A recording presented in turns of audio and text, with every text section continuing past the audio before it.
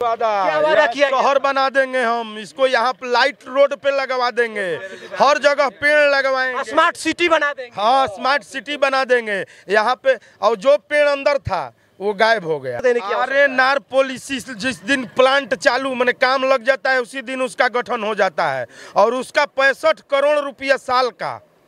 पूरा प्रशासन में खिलाया जा रहा है, मंत्री और विधायक साहब हमारे खा रहे हैं। एनआर कमेटी के मेंबर यहाँ के डीएम साहब, एडीएम साहब जो हैं, और सांसद महोदय, विधायक और कई बड़े बड़े लोग हैं आरएनआर कमेटी के प्लांट के भी अधिकारी एजीएम अधिकारी हैं।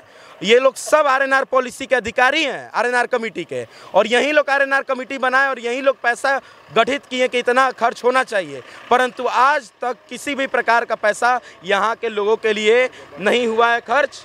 और सीएसआर कॉरपोरेट सोशल रिस्पॉन्सिबिलिटी जो प्लांट की दो परसेंट खर्च होती है, इन्होंने आज तक अपने लोगों को या हमारे नेता और जनप्रतिनिधि के विशेष लोगों को दे दिया जाता है सीएसआर का पैसा खर्च करने के लिए और वही लोग खर्च करते हैं। और अपने लोकल लोग को काम बहुत कम मिलता है बहुत ज़्यादा ज़ोर दिया गया बहुत ज़्यादा अगर आंदोलन किया गया तो मात्र समझ लीजिए कि पाँच हज़ार लोग में मात्र 200 250 लोग काम कर रहे हैं। बहुत कम संख्या है लोकल लोग को वैसे भी भगा दिया जाता है क्योंकि वो अपनी तनख्वाह की मांग करेंगे और बाहर से ये मजदूर लाते हैं तो मात्र 200 और 300 रुपए में।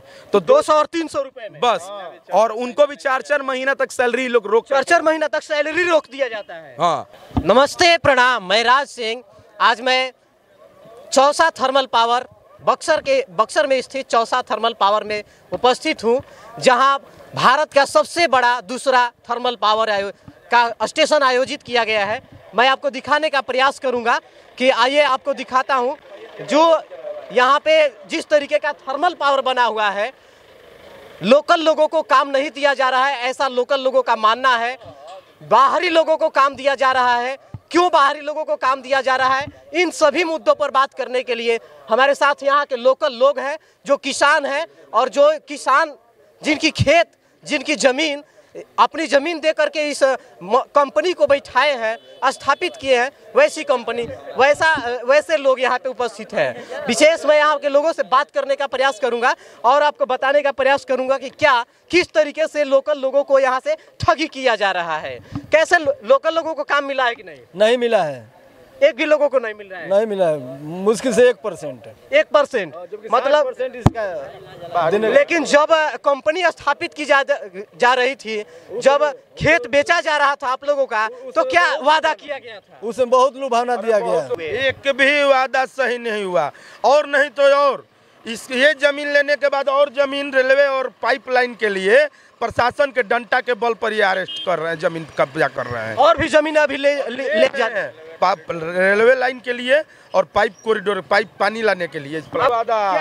शहर बना देंगे हम इसको यहाँ पे लाइट रोड पे लगवा देंगे।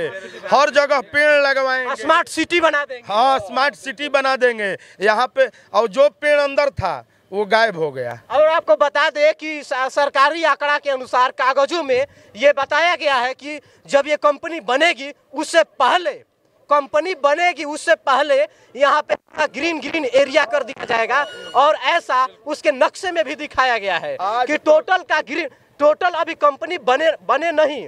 उससे पहले ग्रीन एरिया बनाना चाहिए और इसके बाद कंपनी स्थापित करनी है। आज तक एक पेड़ नहीं लगा है। पचास सौ पेड़ कबर गए इसमें का। और आपको बता दें कि सरकार के तहत डीएम और एसडीएम के तहत जो सरकार जो पुराने वृक्ष हैं बरगद है या पीपल के वृक्ष है उनको संरक्षण और और नेता लोग क्या इस बात की जानकारी बक्सर के डीएम को होगी कि नहीं होगी? बिल्कुल आज एक क्वेश्चन और है कि क्या यहाँ के लोकल लोगों को काम मिलता है? और मिलता है तो कितना परसेंट लोगों को काम मिलता? है बताइए, आप सोच सकते हैं कि गरीब मजदूर किस तरीके से अपना जीवन यापन करते होंगे?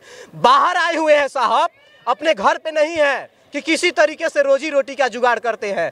बाहर आकर के और अपने घर परिवार का पोषण करने के लिए किसी तरीके से सोचते हैं कि दिल्ली पंजाब न जाना पड़े कम से कम बिहार में तो नौकरी मिल जाए। प्लांट लगने के समय हम लोगों का यही सोच था कि हमारे बच्चे जो जा रहे थे बाहर उनको यही काम मिलेगा लेकिन यहाँ काम नहीं मिल रहा है।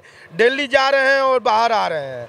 हाँ यहाँ लग जाएगा वहाँ लग जाएगा और लगा रहे हैं तो कोई ना कोई ब्लेम लगा के एक आध महीना में हटा दे रहे हैं लोग। और भी आपको बातें बता दूँ ऑफ़ कैमरा बातें हुई है तो वहाँ पे भी पता चला है कि अगर काम मिलता भी है अगर इसमें काम मिलता भी, भी है कंपनी के अंदर तो केवल मजदूरी करने का झाड़ू पोछा करने का साफ़ सफ़ाई करने का ऐसा ही काम। न कि किसी बढ़िया पोस्ट पे आपको नौकरी मिल जाए। ऐसा होता है? बढ़िया पोस्ट पे नौकरी मिली है नहीं सिर्फ़ यहाँ अनस्किल्ड लेबर के काम में यहाँ के लोग को कार्यरत कराया जाता है। बक्सर में वैसे कारगर लोग नहीं है जो अधिकारी बन सके जो यहाँ के बड़े उच्च पदों पे स्थापित हम खुद ही किसान के बेटे हैं हम एमटेक किए हुए हैं आईआईटी धनबाद से और हमको आज तक हमारे पेपर को ये लोग देखे भी नहीं। और इस तरह से गाँव में कई लोग आईटीआई किए हुए अप्रेंटिस किए हुए खाली घूम रहे हैं और ये प्लांट कभी लोकल लोगों को पूछी भी नहीं।